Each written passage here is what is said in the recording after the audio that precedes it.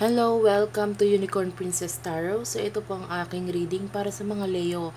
Ah, para sa buwan ng November 2020, kapalaran sa pag-ibig.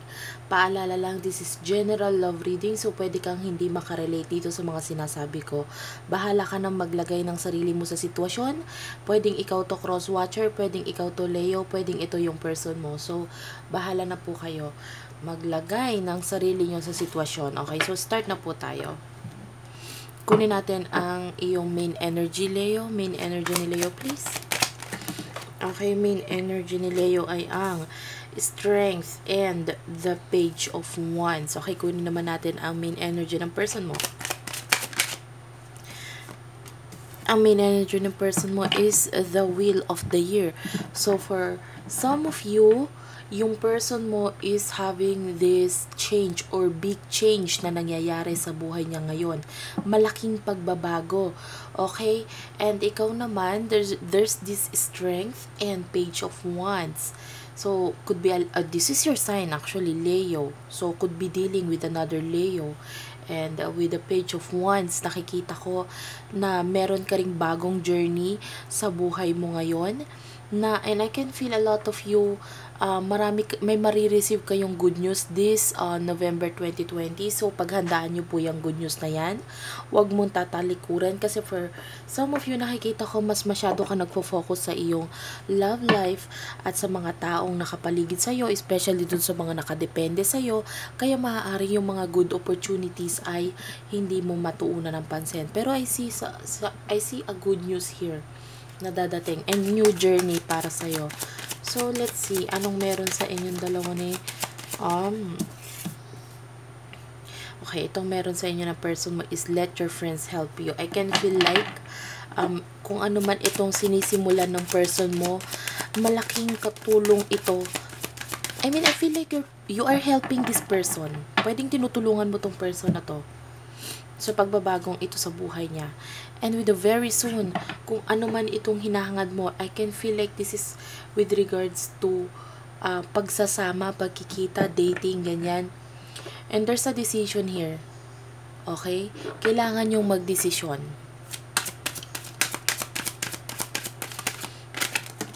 Okay. For Leo, it says attraction and express your love. Okay. So, maaaring hindi nangyayari yung expression ng love dito or hindi, hin, maaaring itong taong to ay hindi pa umaamin ng feeling sa'yo for some of you. Pero para naman dun sa mga umamin na, I can feel that this November 2020 ay lalo pang lalalim kung ano man yung connection na meron kayo, Leo, okay? So, nakikita ko dito na merong, um, for some of you, you're waiting for this person and mangyayari ngayong November 2020, yung pagkikita na yan, yung pag you know, pagsasabi ng emotions or feelings sa isa't isa na yan. And with the let your friends help you, I feel like for a lot of you, wait lang guys. Okay, sorry about that. So, for a lot of you, um, I, I feel like your person really would like to touch you. Gusto kanya mahawakan eh. Gusto kanyang mahalikan sa kamay. Okay? That's what I can see here. I can feel like your person really adores you. Kumbaga, sobrang gandang-ganda siya sa'yo. Sobrang gandang, sobrang poging-pogi siya sa'yo. And kaya, pareho niyong gusto to eh. Itong dating na ito. Kaya lang, let's see, what is um, happening or ano nasa mind ng person ni Leo ngayon. Okay, focus on finances and there's these plans. Nagpaplano itong person mo. Paari kung siya ay nasa abroad or nasa malayo, nagpaplano na siyang makita ka or ma umuwi. Okay, yun ang nakikita ko dito. Gusto niya eh, gusto kanyang makita eh. Yan no, with the two, three of wands, this is someone na malayo sa'yo. Could be uh, sea dahil nasa dagat or could be dealing with uh, with the fire sign here, with the wands, and uh, ang nakikita ko dito, sobrang gustong gusto niya nang makita ka, gustong gusto niyang mahawakan. And ayun nga, um, dahil although malayo yung distansya nyo, malayo siya sa'yo, I can feel, kaya lang siya malayo kasi nag, uh, focus siya dito sa stability. Could be thinking of buying a house. So, yun yung, yung gustong mangyari ng person mo Kaya medyo busy siya ngayon when it comes to um, to this uh, kung ano yung nasa thought niya, parang ganon. And uh, I feel like for some of you, kung hindi pa naman, kung hindi pa naman ito malayo, itong person mo, I can feel like yung person mo ay pwedeng ikaw or pwedeng siya ang malalayo dito. Okay? Meron dito kasing uh, magkakalayo eh. Or kung hindi magkakalayo, malayo na. And there's this feeling na gustong magkasama. Kaya lang, ayun nga, focus on finances, focus on stability, yun yung nagiging thoughts ng person mo. And, let's see, ano naman nasa mind ni Leo? Okay. Mind ni Leo. Could be dealing with the Scorpio for some of you. Okay. Okay. Nakikita ko nag-higher ang level ng iyong spiritual knowledge. Ay, nakikita ko nag-higher ang level. I feel like for a lot of you, meron kayong itinatago dito sa person na to. Okay. Uh, and with the Four of Swords, there's this separation. So, medyo malungkot nga kayo kasi magkakahiwalay kayo. Pwedeng this year, ha? Or there's this separation dito. So, pwede magkahiwalay nga kasi kayo. Kaya, um, could be traveling overseas. So, if you are thinking of going abroad, malaki ang chance po ng going abroad ngayong November 2020. Actually, hindi lang November 2020, kahit hanggang December nakikita ko ang high chance of travel here. Kaya, um, medyo, uh, nakikita ko yung, yung nagpe-prepare dito na mag-aayos, ganyan, pupunta sa abroad, na high chance. Guys, and nag, tumataas ang spiritual knowledge mo. Okay? With the high priest. This is someone na tumataas ang um, spiritual knowledge, pinapakinggan yung kutob niya, and that is good for you. Okay? Uh, let's see. Actually, more on business kayo. This could be your person already. Pwedeng husband or wife na kayo. Leo, nitong person na to. Or kung hindi man, pwedeng nandito na kayo sa stage na magkarelasyon na kayo nitong taong to. Kaya, I don't see any problem here. Ang nakikita ko lang problema is that you are too focused on your finances and your goals. Masyado ka nagpo-focus sa finances mo, sa goals mo, sa mga gusto mong mangyari sa buhay mo. Yun lang yung nakikita kong problem eh. Pero towards your relationship, I don't see any problem here. Okay. So, ang nire-read po natin ngayon is Leo na may karelasyon. Okay? So, start na po natin. Ano naman ang emotion ng person mo towards you? Okay. See? Maaaring may mga Leo sa inyo na hindi mabalance ang buhay niyang person na to. I mean, hindi kanya ma... Hindi... Uh, kulang ang time, ganun may mga hindi mabalancing mga pagkakataon. Like for example, masyado siyang busy, kaya hindi kanya ma- ma-chat or ma-text. Ganun lang ang nagiging problem for what I can see here. Sobrang love ka nitong taong to. Kung wala pa kayong bahay or wala pa kayong stability or hindi pa kayo, I, I see a proposal here. Okay? So, itong taong to, gustong gusto ka niya, gustong gusto ka niya, mahal na mahal ka nitong taong to. Why? Kasi he or she is thinking about marriage. Sobrang clear nung nakikita ko dito na mahal na mahal ka. King of Cups, oh. Okay? Sobra-sobra yung pagmamahal na binibigay niya sa'yo or yung nararamdaman niya para sa'yo. And with the Knight of Cups, this is someone giving an offer of stability with the Four of Wands mag-o-offer siya sa iyo ng stability. Ito na marriage na ito. Congratulations, guys. Yun ang nakikita ko sa inyo. For some of you, hindi pa may bibigay itong offer na ito. Why? Kasi, ito pa nga, kaya dito siya sa focusing siya dito sa kanyang stability pa.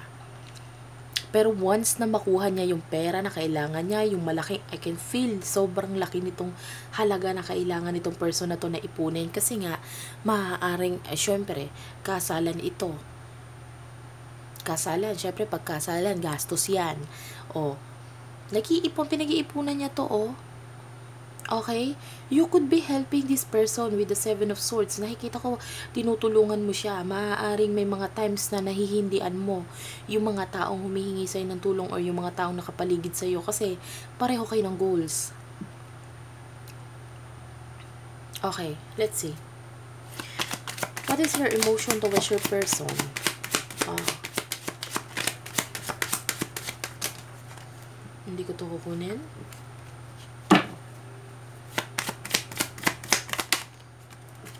Okay. Ngayon ko lang po nakita ang card na to. I'm sorry for ano ha, kasi nag nadadali ko yung lazy pod and doon lang po nakalagay ang ating camera. So start na po natin. Sorry about the ano paggalaw-galaw. So ito, ngayon ko lang po nakita ang death card ng ganto ka charming para sa akin. Yung energy na nakukuha ko is very charming, sobrang saya. I see a proposal with a chariot card. I can see a Okay, this could be a Why did I say chariot? This is not chariot. I'm sorry. This is death card. So, ang nakikita ko dito is, uh, you could be dealing with a Scorpio. So, I said chariot. So, you could be dealing with a Cancer. So, ngayon ko lang po nakita yung chariot card na sobrang amazing para sa akin. Why? Kasi po, yung energy niya sobrang sigla, sobrang new. Okay? Kasi hindi naman sinabing death katapusan eh. This is death. What, kumbaga, new beginning. Death and rebirth. Parang, katapusan ng kung ano man yung matatapos sa buhay mo kasi may dadating or may sisibol na bago, napakaganda. And for what I can see here, there's an offer. Okay? For some of you or a lot of you, could be an, an offer of marriage or higher level of commitment, stability. Yan ang nakukuha ko dyan. With the Queen of Wands, this is you you're looking like a queen. Gumaganda ka ha, in, in fairness, in fairness sa'yo. At saka kahit anong hawakan mo, um, mag, magaling ka dyan. Pwedeng magaling ka sa business or magaling ka sa paghawak ng finances. Okay? Yun yung nakukuha ko dito eh. That's why, nakikita ng person mo na isa kang someone nakakaiba kasi you're a queen kahit anong hawakan mo, sumisibol, sumisigla, nagkakaroon ng kulay. At yun yung nagustuhan niya sa'yo. With the tower, see, death, I mean, death and the tower and the wheel of year, major changes, malaking pagbabago, guys. Malaking pagbabago. Okay? Siyempre, ang marriage po, or itong, or itong commitment or connection ninyo, malaking pagbabago po ang nakikita ko talaga dito. And it is for the better. Tapos nandun pa yung page of wands, which signifies a new journey So, maaaring itong nangyayari sa inyo or mangyayari sa inyo ay napakalaking pagbabago sa inyong relationship kung kayo ay already committed with this person.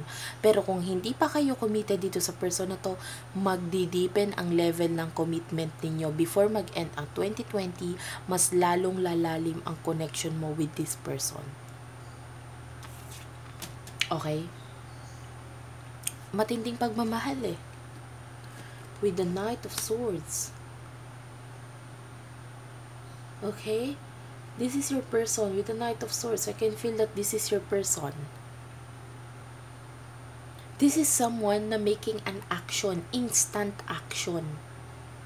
Pag sinabing instant, mabilisan na action ito. Okay, so let's see. Ano ngayon na magiging action ni person mo? Okay. Hindi ko ito kukunin. Mm. I see someone here walking down the aisle. So, pwede ngang ikaw ay ikakasal.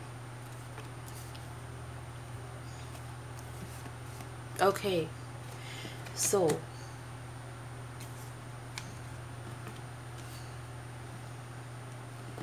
for what for what I can he see here with the five of cups pwedeng yung person mo is somewhere na uh, Pwedeng seaman siya ha, for what I can see here. Kasi, I can see, I can see a lot of water. So, pwedeng, etong person mo ay nagtatrabaho sa, you know, nasa gitna ng dagat. So, pwedeng seaman, ganyan. And with the high priestess, this is someone na nagkaka I, I see a certificate I see a you know marriage pwedeng marriage certificate. So meron ditong um two pillars. So I can really see you na parang opening up the door and then uh, nagwo-walk down ka sa aisle. So this could be uh, marriage talaga na nakikita ko ngayon dito. With the Four of Pentacles, this is someone na gusto kang mahawakan or gusto kang maging kanya na talaga forever. This is someone na being greedy. You know, ayaw ka nang i-share sa iba eh. Ayoko na ng iba, ikaw na lang. I mean, ayoko na makawakan ka pa ng iba. Ayoko makuha ka na ng iba, akin ka lang. Okay? So, with the with the Knight of Pentacles, this is someone na, you know, gusto ko na may panghawakang papel. Gusto ko na may panghawakan ako sa'yo. So, kung wala pa kayong relationship, gusto kong maging tayo. Yun ang sinasabi dito. Pero kung kayo ay may relationship na gusto ko may panghawakan ako sa'yo na kahit umalis ako or kahit lumayo ako, alam kong babalik ako dahil meron tayong pinag-usapan or meron tayong pinirmahan. So, a high chance of marriage, guys. A high chance of marriage. So, let's see. What is your thoughts?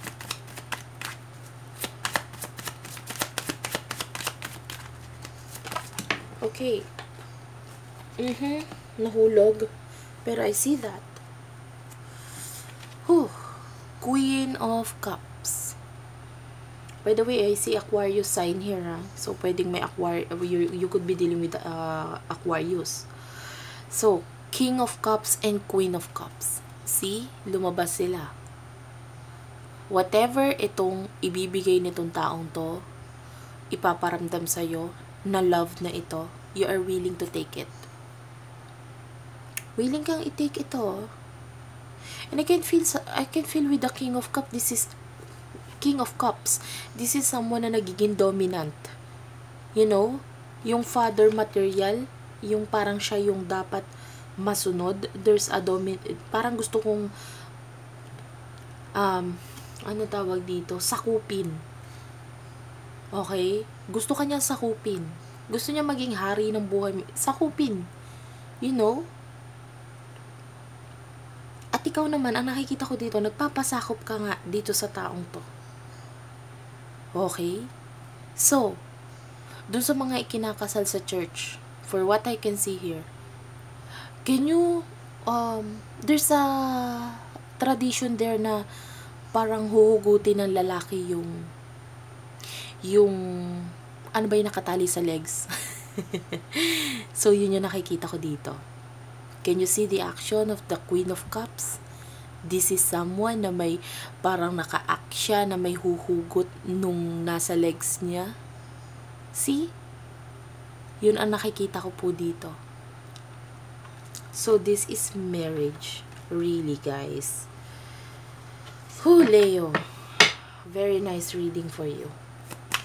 If not, para dun sa ibang Leo, if you are connected with someone right now, and you feel, and you feel that this person is parang, you can see stability with this person. This is the one for you kung ikaw ay connected sa person na talagang you feel protected. Okay? Kung feeling mo dito sa taong to, protected ka at hindi ka na masasaktan pa kahit, kahit sino man. Dahil katabi mo na yung king of the jungle for what I can see here with the strength. O katabi mo na yung I mean, I, I mean, nasa yun na yung taong bipo protektahan ka at wala nang iba pang makakalapit sa iyo eh kung yun ang pakiramdam mo sa person mo, etong nangyayari na to o itong sinasabi ko na ito ay mangyayari sa iyo. Kasi this is your person. Ito ang taong para sa iyo. Only, guys, ayoko magbigay ng false hope ha. Only for those person if you feel protected dito sa taong to. Kung meron ng stability ang inyong relasyon. Okay. Kasi ayoko naman na magbigay ng false hope. Uy, ikakasal daw kami, ganyan. Hindi po, ha? Ito pong sinasabi ko na to ay regarding those Leo na feeling mo siya na talaga dahil nararamdaman mo yung protection dito sa taong to. Na feeling mo with the world, hindi ka na malalapitan ng kahit sino. At pag pinagsama yung knowledge mo, spiritual in, spiritual knowledge mo, I can feel like your spirit guidance or I mean I, I'm, I can feel like, like a lot of you kinakausap kayo ng iyong spirit guides could be giving you hints or signals. Okay? Pero maaaring nagbibigay sila ng hint or signal sa'yo na ito na ang taong para sa'yo. And can you see this? This is High Priest. I don't know if you're Catholic, pero kahit hindi ka Catholic, there's a priest here. May pari. Oh, this is marriage. So, let's see. One more card for Leo. Hindi ko po yun kukunin. Maraming cards yung lumabas. See the lovers. Wow. End card is the lovers. Signifies marriage. Ayan. Higher level of commitment. Napakaganda ng end, end card mo, Leo. Wait lang. Okay. So, for what I can see here with the lovers, may decision kang kailangan gawin regarding an offer. So, ito na nga ito. Oh, Two of Pentacles. Is it a yes or is it a no? Wow. Guys. Leo. Ito na ang taong para sa'yo. Okay? Tanggapin mo ng buong buo. For what I can see, this is a man or kung you are dealing with the, uh, the guy, sobrang matured na itong taong ito kung dati there's uh, there's feeling na parang hindi mo makuha yung yung eh, you know there's lack of time. Ganun po talaga ang, ang, ang adulting. Baka hindi po kayo aware sa adulting. Okay? Could be a Gemini here. Ang adulting po ay talagang paunti-unti na, paunti na ng pakunti ang time kasi mas napupunta na po sa um, you know yung higher level of commitment and syempre nandito na tayo sa stage na hindi naman tayo puro love love lang. Hindi tayo pwedeng puro pagmamahal lang. Kailangan din natin ng pera kailangan din natin ng stability kailangan din natin ng bahay ganon kaya maaaring nawawalan na siya ng time before or kahit nga ngayon nangyayari sa'yo, nawawalan ng time itong person mo. Pero that is because nagpaplano siya ng higit pa para sa inyo. So that's it for now, Leo. I hope naka-resonate kayo. Please do like and subscribe to our channel. Congratulations, by the way. I like the reading. Sobrang love ko itong reading na nangyari ngayon sa inyo. And hopefully, I maging masaya din po kayo. And that's it for now. Thank you for watching. Please hit the subscribe button ha. And maraming salamat po.